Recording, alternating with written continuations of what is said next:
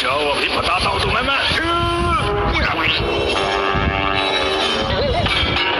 देखा मेरे मोजों की बदबू का कमाल अरे मोजों की बदबू से रोबोट में होश हो गए ये कैसे हुआ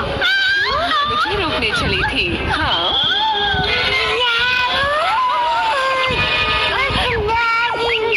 छोड़ो मुझे